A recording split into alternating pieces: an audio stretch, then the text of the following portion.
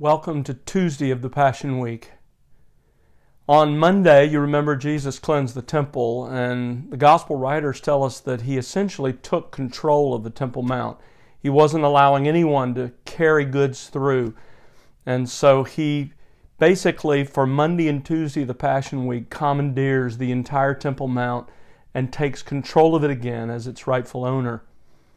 On Tuesday morning, he and his disciples leave Bethany just over the Mount of Olives, two miles from the Temple Mount, and they return again that morning to the temple. And the gospel writers tell us that it becomes a day of teaching. Jesus is there on the Temple Mount, that huge 35 acre area where the temple stood. Uh, somewhere between 200, 300,000 pilgrims were likely there for the Passover week. And uh, so there would have been tens of thousands of people milling about on the top of the Temple Mount. And on Tuesday, Jesus begins to teach. And in the context of his teaching, the Pharisees and the Sadducees are hanging around in the background, listening to Jesus' teaching, looking for ways to trap him. And uh, in response to his teaching, they question his authority. By what authority, they say, do you do these things?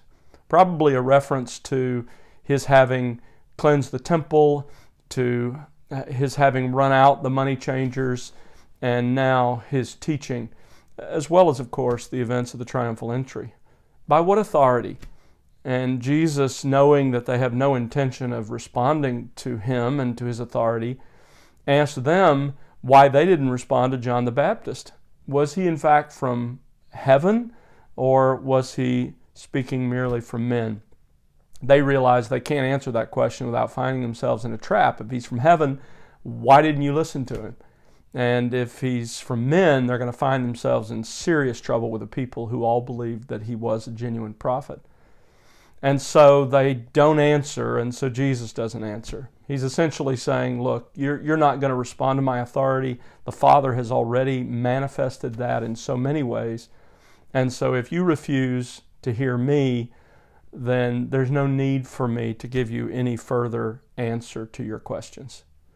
So then, in response to that, Jesus tells three parables, and those parables are an indictment of Israel's leaders. You have, first of all, the parable of the two sons, in which he essentially indicts them for having refused to listen to God's will as explained by John the Baptist. And then you have the parable of the vineyard, which he indicts them for having rejected as a people the prophets God sent. And uh, he details how they have treated the prophets, and then specifically how they have treated God's only Son.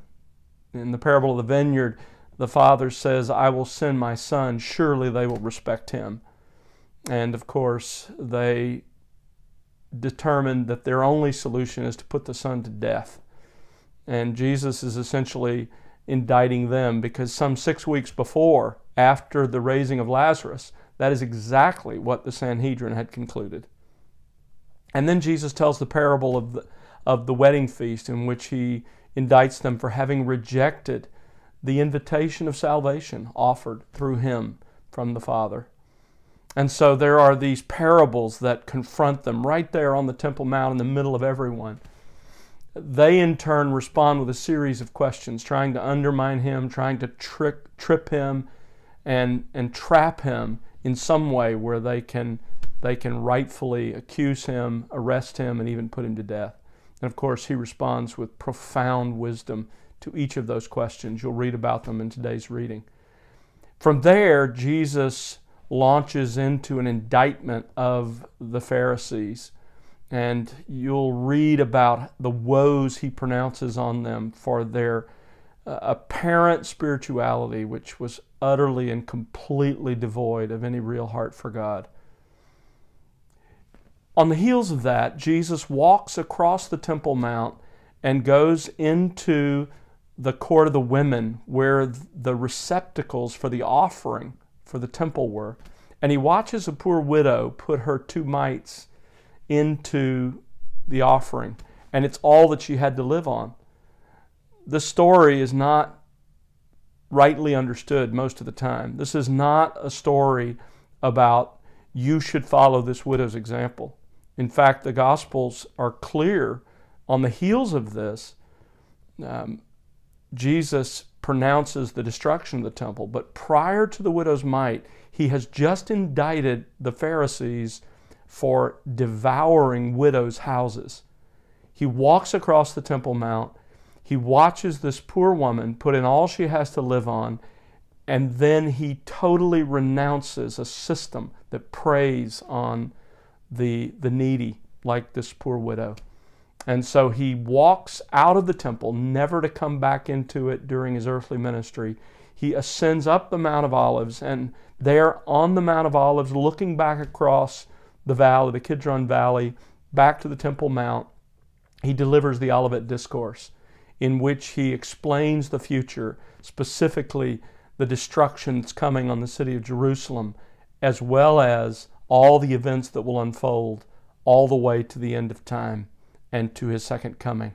It's really a remarkable day, Tuesday, in the life and ministry of our Lord. Enjoy the readings for today.